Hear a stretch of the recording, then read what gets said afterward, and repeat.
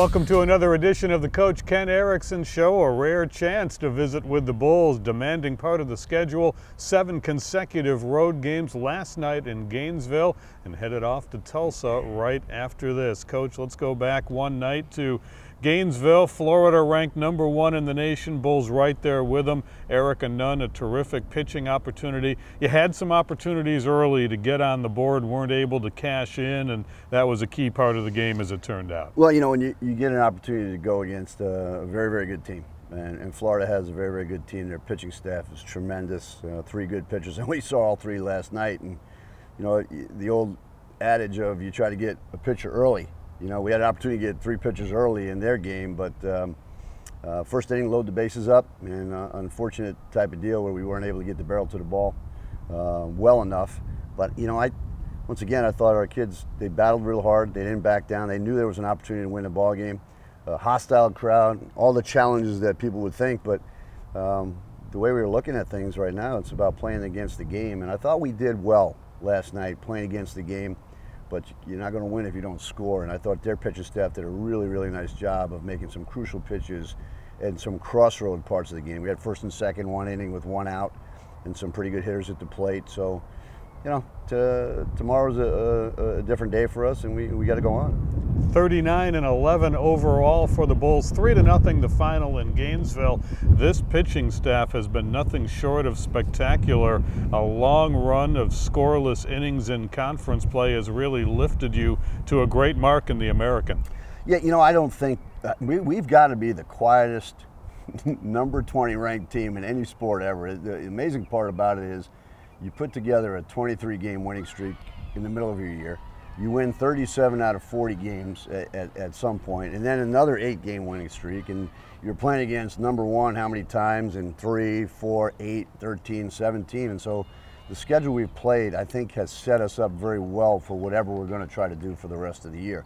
Um, these guys, they're so um, outside the realm of, of what's going outside the field when they come to play the game. We're talking about the girls at USF. They're so focused on the task at hand, and, and that's all you could ever ask, you know. And we've talked about their short memories, they don't have one. Their long-term memories, they don't have one. Uh, the compliments that we're getting from our opposition right now and how far this team has come, and not just two years, but in this year alone. You know, you start out two and seven against some good competition, and you're probably not in five of those ball games. And where we're at right now, I feel good about our, our maturation, but we now we have a, a stretch that we have to finish strong in. Bulls on the road at Tulsa in a crucial conference series. We'll preview that later in the show. Stay with us, much more to come as we continue on the Coach Ken Eriksen Show.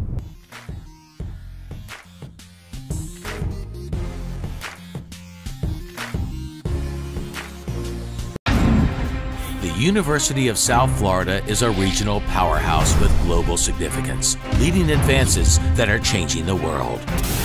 Now a leader among the nation's universities in research, healthcare, and just being cool. The place where young men and women train to become the best. This is where the Bulls run.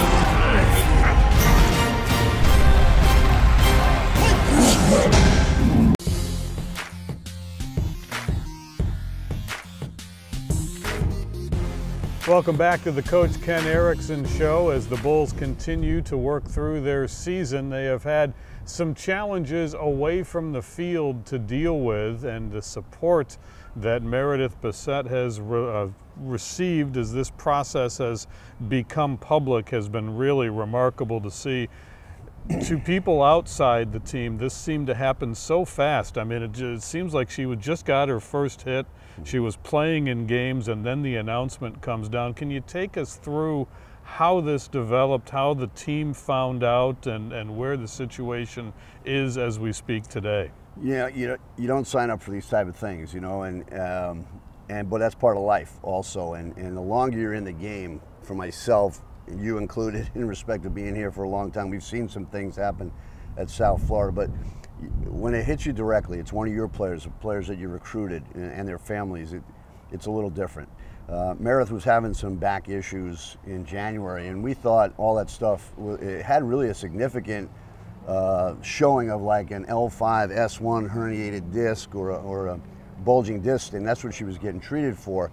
Um, and then she came back after the, uh, and it went away. And then she comes back after the Easter weekend where she was in North Carolina. We played East Carolina that weekend, and she uh, came up with a crucial base hit RBI, her first base hit of her career, and, and at a great time put us ahead against East Carolina. And um, her and Erica Nunn stayed over in North Carolina. We do that for our kids there on Easter weekend. They don't have class on Monday, so they stayed there.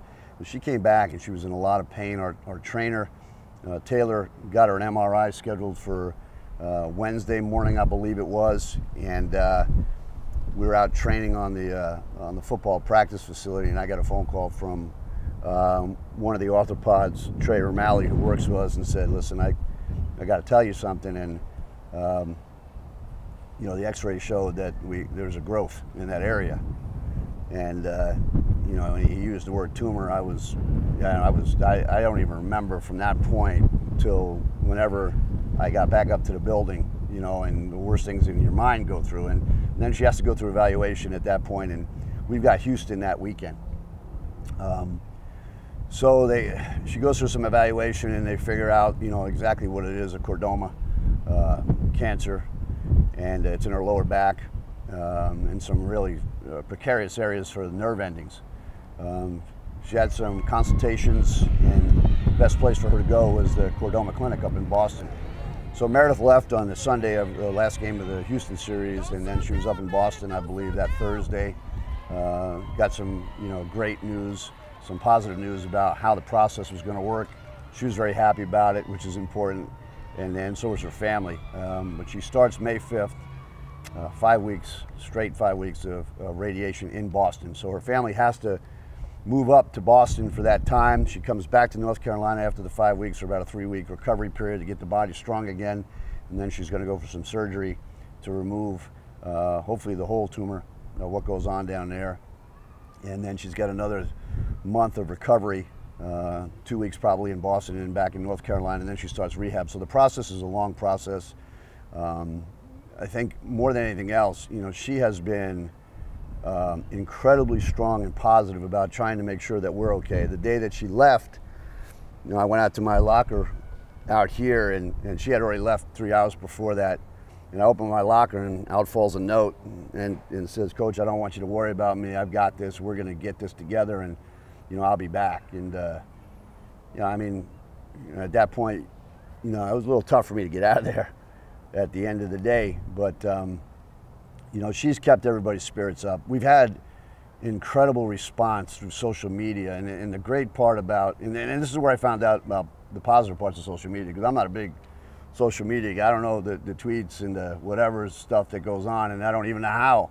But um, from what we're getting, um, not just nationwide, but internationally, uh, you find out that social media has really uh, decreased the space of the world, has made the world a lot smaller. And, you know, the, the responses that we're getting from college teams and professional players and, and coaches and people in general uh, that are related to the sorority of softball and then the fraternity sorority of athletics itself uh, has been nothing short of, of, phenomenal and very humbling to me, but I'm sure just has made Meredith feel very, very welcome in everybody else's eyes. Let's take a look at some of that social media support and also a look at a press conference that took place during the week. Assistant coach Tommy Santiago and Aston Donovan as well as we find out more about Meredith Bissett. Hey Meredith, we heard you got you started treatments, and we just want to wish you good luck, and um, we're supporting you. So go Bulls! Go, go Bulls! Hi Meredith, we're the University of Maryland softball team. Faith, keep the fight, and win the battle. We are Meredith Strong She has a great personality. Uh, she's definitely someone that's always smiling, always positive. Um, she's always looking to lighten the mood. So if you come home, you've had a rough game, she's always there with a hug or um, just something to make you laugh and feel better. She loves to dance, she loves to sing. Um, we're like in a lot of ways, like we just like to have fun and watch movies together, Disney movies. Um. A lot of the stuff on social media, I mean, teams have been reaching out like tremendous you know, how widespread this is right now. And she's getting that support and she's not in this fight alone. I can't stress enough and can't thank enough all the, you know, softball community that's kind of stepped in from the West Coast to the Northeast to, I mean, you name it. You know, they're behind her 100%. You know, and I've texted her a, a couple times saying, what do you think of all this? You know, and she, she's amazed by it. And I said, well, people love you. You know, there's a lot of people that are supporting you and they're behind you. I wouldn't say it's a constant reminder of what we're fighting for, but more of just um, she's our teammate. And even though she's not here, she's still with us and we still think about her and love her just the same.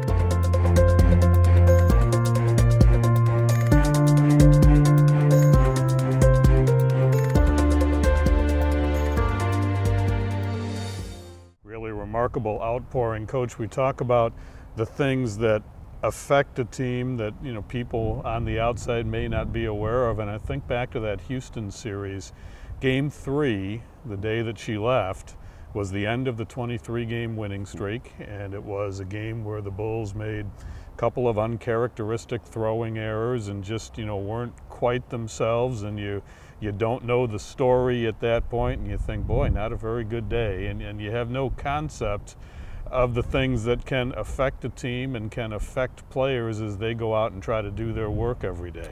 You know, I've, I've always thought that family issues are private issues and, and you keep it close to the vest. And, and our team did a very, very good job of making sure we stayed within the USF cocoon, the softball cocoon of what was going on, and not really using it as any type of excuse or reason. And, you know, we were just trying to take care of our own family. And, you know, after a game like that, um, as a father, you know, what do you tell your daughters? You know, um, played hard, obviously you did. You know, we know that there's other things on your mind at this point. You know, emotional part of saying goodbye to your teammate three hours earlier who's going for treatment.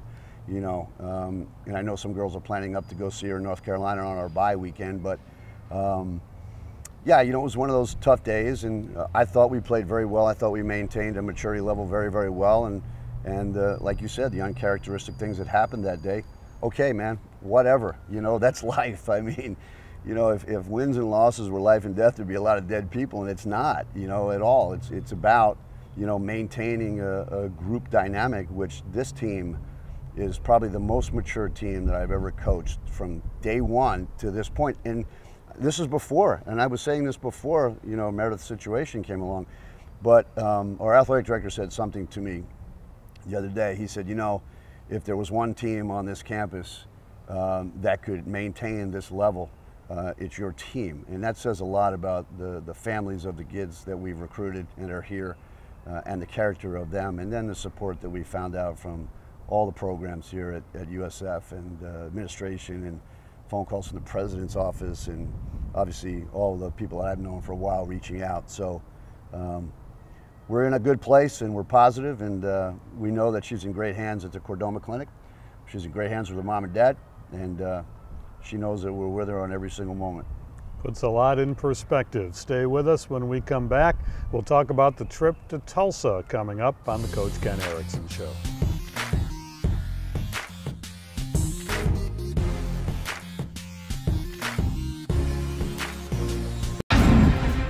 University of South Florida is a regional powerhouse with global significance, leading advances that are changing the world. Now a leader among the nation's universities in research, healthcare, and just being cool. The place where young men and women train to become the best. This is where the Bulls run.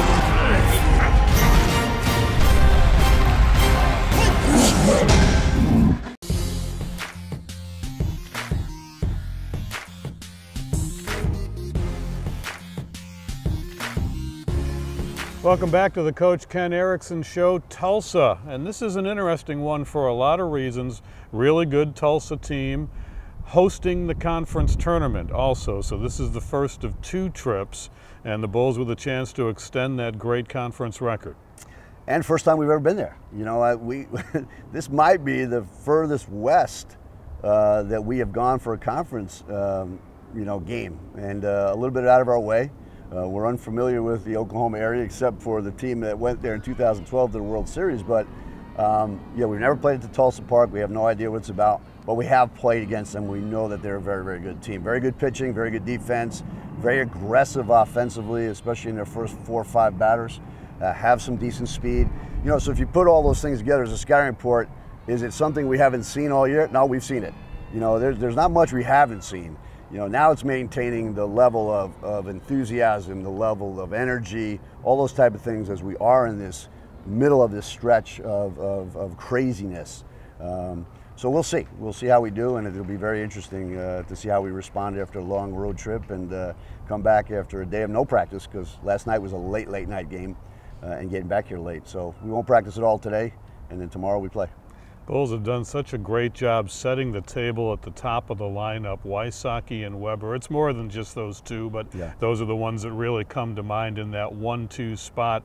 The on-base percentage at or about 500. I mean, that's that's almost like starting the game with players on base. Yeah, no, you make the same mistake that I make. Every once in a while, I call Wyckoff Wysocki. There it's you that go. W Y yeah. tail yeah. there. So, but I'm with you. Uh, no, they they um, they have been doing a great great job. You know, and Kristen is really learning to be that leadoff batter. That you know she sets the situation up. She has to battle hard, even with two strikes. She's got to battle hard, and because she's so fast, she can make a mistake. She can miss hit a ball and be safe. Wyckoff, uh, or rather Weber, uh, tremendous bat control, and so to have somebody like that uh, behind somebody with speed, you have a lot of different options. And then we've moved Lauren Evans into the three spot right now, really good back control person, puts the ball in play, very aggressive early in the count. Um, for her there to move runners and also to drive runners in and then, you know, behind them, I mean, holy smoke, Spivey and Nunn, and then you got Santos and Fung. You know, so you've got some pretty good RBI people behind people that set the table. Looking forward to three games in Tulsa, big series with UCF right here at the end of the month. Coach, thanks. Have a great trip west. I appreciate everything. And uh, hashtag Meredith Strong. And go on there and support Meredith Bissett in her fight. And uh, we'd really appreciate it. You'll be amazed at the people that have reached out. Make sure that you join that group. And we'll see you again soon on the Coach Ken Eriksen Show.